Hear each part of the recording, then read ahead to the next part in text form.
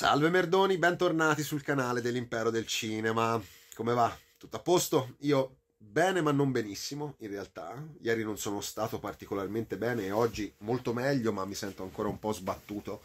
Ho delle occhiaie che faccio spavento, sembro un tossicodipendente.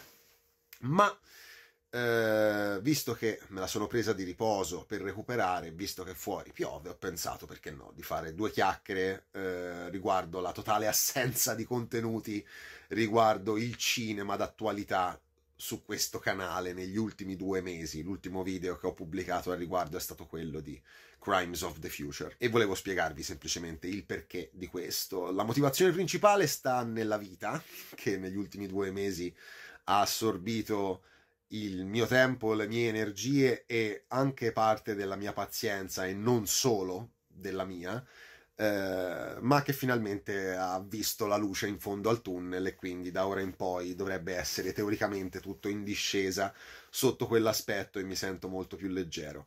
In secundis, la restante parte di tempo libero che ho al di là dei rapporti umani e dei miei doveri, è stata praticamente monopolizzata dal progetto Crenshaw, che sta andando ancora avanti. Il capitolo 2 è stato pubblicato un mesetto fa circa, e stiamo lavorando al capitolo 3, che è a buonissimo punto, siamo a circa l'85-90%. E siamo ancora in fase di riprese, mancano da girare le ultime due scene, però per quanto riguarda tutto il resto fatto finora, il materiale già montato eh, nella stragrande maggioranza dei suoi elementi. Manca ancora una parte del doppiaggio, ma so, queste sono minuzie che arrivano poi successivamente. Siamo presi da questo totalmente ed ecco perché non sto riuscendo a portare contenuti a tema eh, d'attualità cinematografica. Non sto riuscendo proprio a trovarci tempo perché poi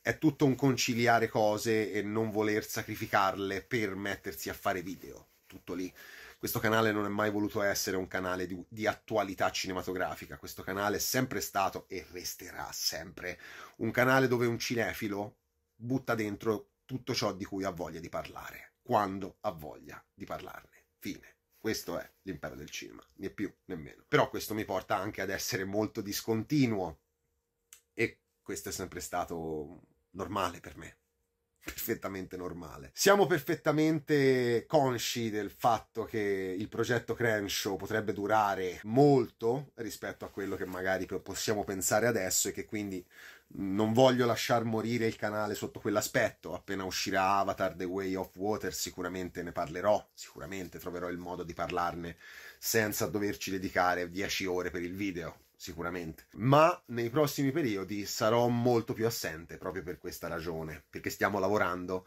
a qualcosa che mi sta dando una soddisfazione infinitamente superiore a quella che mi dà fare un video come li ho sempre fatti, perché è qualcosa di completamente mio, di completamente nostro. È inutile che vi dica che il feedback che mi è arrivato nei commenti, nei messaggi privati, soprattutto nei messaggi privati, più che nei commenti, paradossalmente, eh, per Crenshaw capitolo 2 mi ha riempito di felicità estrema. È così, è stato bellissimo, ma per molti aspetti in realtà, non soltanto perché il prodotto vi è effettivamente piaciuto, ma anche perché coloro che hanno notato elementi all'interno del corto che non gli sono piaciuti molto o affatto, non si sono risparmiati nel dirmelo. E questa cosa per me è un traguardo.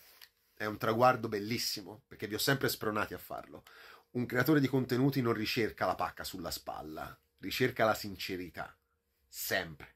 E quando arriva, e non solo arriva, ma è coadiuvata anche da l'attenzione a ciò che invece è stato gradito, eh, questo è, è, la completezza, è la completezza del feedback che torna indietro e che nonostante, ripeto, eh, mi aspettassi tranquillamente che non avrebbe ripetuto i numeri del capitolo 1, che in realtà non erano aspettati minimamente eh, quando l'ho pubblicato, pensavo l'avrebbero visto in tre gatti in croce e l'hanno visto in tre gatti in croce. Il primo capitolo è stato visto da 608 persone, ma eh, rispetto alle aspettative che avevo e rispetto ai numeri del mio canale, quelli sono numeri da, non lo so, da Godzilla vs. Kong, capite? Quindi per me era completamente inaspettato e mi immaginavo che il secondo non avrebbe ripetuto quei numeri. È comunque bello per me vedere questa storia, questi personaggi, queste immagini uscire dal mio computer.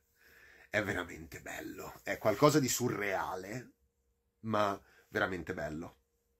E non vedo l'ora di proporvi eh, eh, il capitolo 3, di portarvelo qui, perché per adesso forse se non scazziamo nulla nella fase finale, potrebbe essere il migliore dei tre. E spero di riuscire a finire il racconto con il capitolo 4, perché quello è l'obiettivo. Abbiamo intenzione di arrivare fino a un quarto capitolo. Quindi capite, sono talmente preso da tutte queste cose che non riesco a pensare a video a tema cinematografico. Nonostante, ripeto, abbia delle idee anche fighe, ma non voglio svalorizzarle, non voglio dedicargli tempo quando non, non ho la testa. Tutto lì. E questo è quanto, ragazzi. Un bacione a tutti, ci vediamo presto e alla prossima.